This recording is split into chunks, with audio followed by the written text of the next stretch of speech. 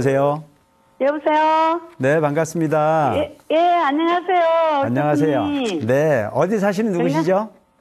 예, 저 제주 서귀포 사는 서혜옥입니다. 아이고 반갑습니다, 보살님. 멀리 전화 네, 주셨네요. 안녕하세요. 네, 어떤 사연을 전화 주셨습니까?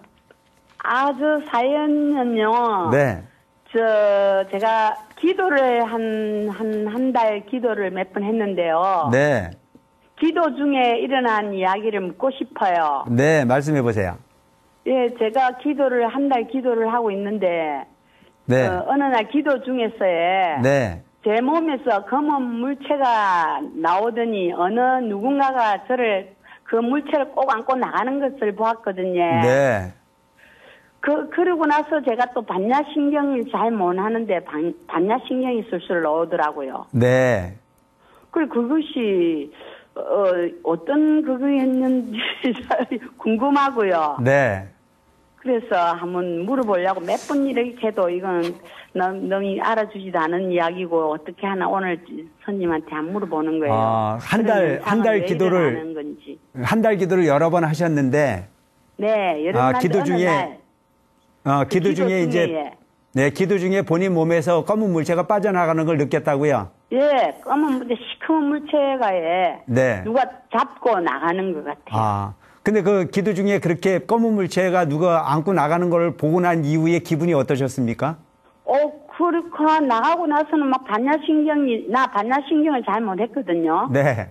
근데 막 반야신경을 막 놓더라고요. 막 음. 색적시공 하면서 제 입에서 예. 네. 그 나가고 나서부터 예. 네. 그래서 제가 그거를 자꾸 외우기 시작하니까 어느 날 마야 지 버리대. 네. 그럼 보살님은 아주 기도 중에 큰 걸 얻으신 거잖아요. 아, 그렇습니까? 어, 시- 제가 볼 때는 어마어마한 가피를 얻으신 것 같은데요. 아, 그렇죠. 그래서 네. 물어보는 거예요, 제가. 그러니까 보살님 내가 볼 때 물어보는 게 무슨 자랑하는 것 같은데? 아, 사랑입니까? 어, 어, 너무너무 좋은 거잖아요. 아, 그렇죠. 어, 일반적인 내가- 사람들이 흔히 얻지 못하는 부분을 보살님께서 기도를 얼마나 잘 하셨으면 예. 내 마음에 아주 그 몸에 있었던 아주 나쁜 네. 기운이 빠져나가는 걸 느끼셨겠습니까? 맞, 맞습니까? 그리고 또 그 반야신경도 안 이어졌었는데 그러고 난 이후에 저절로 반야신경이 이어졌다는 얘기잖아요. 네. 그러니까 보살님 기도 잘하신 거죠. 잘한 겁니까? 네, 아주 저는 부럽는데요. 아, 감사합니다. 네, 보살님 기도 아주 잘하신 거예요. 열심히 기도하시면 더 네. 큰 가피도 있을 수 있을 것 같아요.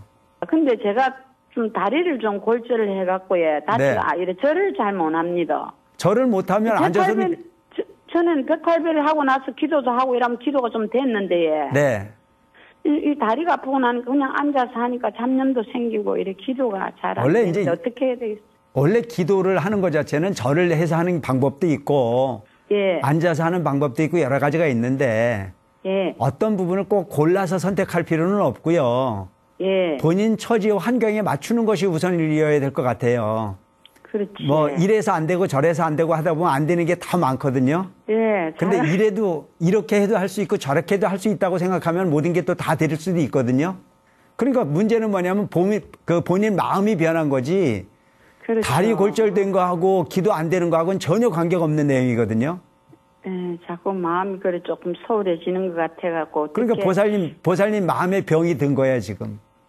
아, 그렇습니까? 그러니까 본인이 마음이 흩어지는 마음을 다 잡으셔가지고 예. 내가 어떤 경우가 있어도 기도를 옛날에 맛봤듯이 내 열심히 기도를 하겠다라고 하는 마음을 가지고 가다 보면 예. 그 검은 물체가 빠져나가고 반여신경이 저절로 이어지는 부분이 가피 이상의 가피가 또 올 수도 있거든요.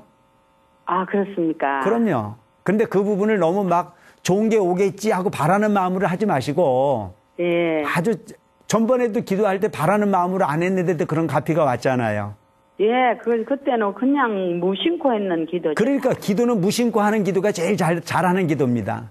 아이고, 그, 그렇죠. 예, 아, 보살님이 마음- 자꾸 뭔가 한번 받기 때문에 뭐가 또 안 보이나 하고 기다리면 안 돼요. 아, 그렇죠. 네. 예, 아유, 감사합니다. 그러니까 항상 무상무념으로 관세음보살을 많이 부르- 부르시고 기도를 하다 보면 예. 잡념이라고 하는 부분도 당연히 잡념이 있는 건 당연한데 그 잡념을 무시하고 하다 보면 청정한 마음이 그 만들어질 수밖에 없거든요.